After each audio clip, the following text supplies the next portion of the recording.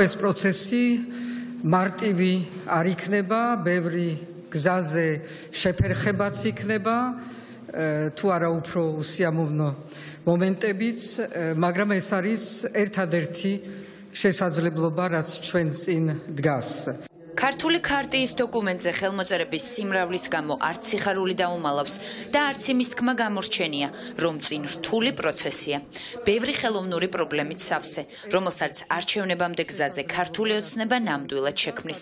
სალომე ზურაბიშვილისთვის ოპოზიციის მიერ ხელმოწერილი დოკუმენტი ერთობის მანიფესტია. ამ განაცხადის ჩატანას კი ბრიუსელში აპირებს პარტნიორებისთვის თქმას, რომ ოპოზიცია ახლა ერთად დგას ქვეყნისა და ევროპის სადარაჯოზე. ქართული ოცნება იქნება კი ისევ მარტოა. რუსული განზრახვის კვალდაკვალ. მიმართე ასევე მართლ პარტიას და პირველ რიგში მის ლიდერს ბიძინა ივანიშვილის. იმისთვის რომ ესენიც ჩართულიყვნენ თუ ამისი სურვილი ექნებოდათ ამ პროცესში ასევე მიმართე რადგან პასუხი არ მიმიღია პირველისგან. მე მიმართე ახალ დანიშნულ თავმჯდომარეს. იმისგანაც არ მიმიღია არანაირი პასუხი.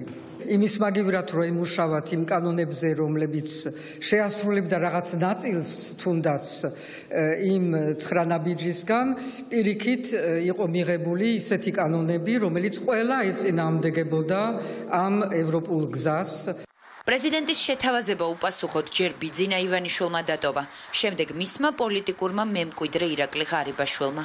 ქართულ ქარტიას 22 ხელმოწერა აქვს, ოპოზიციური პარტიებისა და პოლიტიკური სუბიექტების, თუმცა დოკუმენტს რა თქმა უნდა არ აქვს ოცნების ხელმოწერა.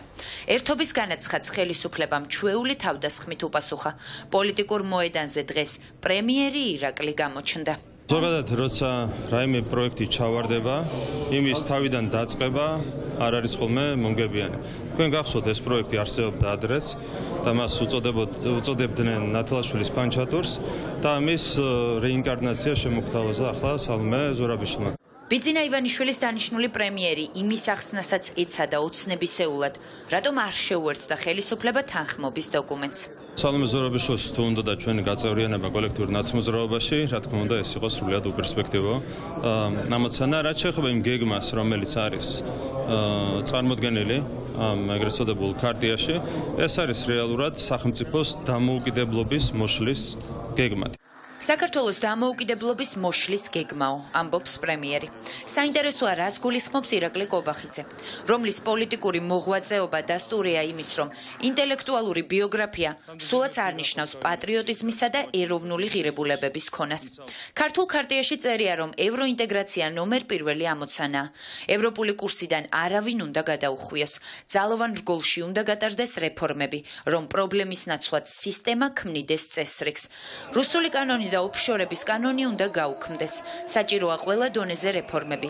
ახალი პარლამენტის არჩევის შემდეგ კოალიციურ მთავრობას ყველა საჭირო გადაწყვეტილების მისაღებად 5 თვე ექნება. შემდეგ კი 2025-ში ვადამდელი არჩევნები ჩატარდება თავისუფალ და ღია გარემოში. ეს პუნქტები კობახიძისთვის საქართველოს დამოუკიდებლობის მოშლას ნიშნავს. ესეც გასაგებია, რადგან პრემიერ-მინისტრი რუსული სტილის პოლიტიკოსია, რუსული მეთოდებით, ანგარიშვალდებულებით იმ ივანიშვილთან, რომელსაც თავის მხრივ ანგარიშვალდებულება აქვს რუსეთთან. ეს იცის ოპოზიციამ, ამიტომ უცნების დამოკიდებულება ეროვნულ თანხმობაზე არავის აგვირვებს. რა თქმა უნდა რეფორმების ნაწილსაც და პოლიტიკურ ნაწილსაც სრულად ვიზიარებ. ასევე უნდა გვესმოდეთ, რომ ჩვენი პასუხისგებლობა, პოლიტიკოსების პასუხისგებლობა ივანიშვილის ძალაუფლებიდან ჩამოცილება, პრეზიდენტი ევროკავშირის კავშირთან ინტეგრაციას ხელს უწყობს და ასევე მნიშვნელოვანია, რომ ნებისმიერი პოლიტიკური პროცესი, რომელიც არის ევროკავშირის იდეის გარშემო გაერთიანება, იყოს რაც შეიძლება აქტიური. ეს ქართული ქარტია არის გამოვლენა პირველი ნიშანი იმის, რომ ქართული ხალხი ბიძინა ივანიშვილის ქართულის წინააღმდეგ გამოდის. ეს ცალსახადა ნათელია, იმიტომ რომ არ დარჩა არავინ ბიზნე ივანიშვილის და ქართული ოცნების მხარეს. მთელი საქართველოს არის ქუჩაში და ამ მოქალაქეების ინტერესების გათვალისწინებით ყველამ გადადგა ნაბიჯი და პირველი ნაბიჯი იმისათვის, რომ დამარცხოს ბიზნე ივანიშვილი. საუბარი აღარ არის პოლიტიკურ გემოვნებაზე. აქ საუბარია ქვეყნის, ჩვენი ქვეყნის სახელმწიფოებრიობის შენარჩუნებაზე და გადარჩენაზე, იმიტომ რომ კარგად გვესმის, რომ ჩვენი ქვეყნის მშვიდობიანი მომავალი და კეთილდღეობა შეიძლება იყოს მხოლოდ და მხოლოდ ევროპულ და ევროატლანტიკურ მომავალში, ამიტომ ქარტი არის ძალიან მნიშვნელოვანი დოკუმენტი და ერთგვარი გზამკვლევი დოკუმენტზე ხელმომწერი ყველა პოლიტიკური ძალა თუ სუბიექტი თანხმდება, რომ წინ ეროვნული ამოცანებია და ამ გზიდან არავინ უნდა გადაუხვიოს. წინ სამომავლო კოორდინაცია, ოპოზიციის მოკავშირე პრეზიდენტია. ხალხის დაკვეთა ესმით, რომ მოსახლეობას ერთპარტიული მმართველობა აღარ სურს. ამიტომ დოკუმენტის მთავარი არსიც დაბალანსებული და მრავალპარტიული მართვის მოდელის შექმნა. ეს შეთანხმება არის ერთობის მაჩვენებელი, რომელსაც სადაც რის მოთხოვნას ნამდვილად არსებობს ამორჩევოს და საზოგადოებაში.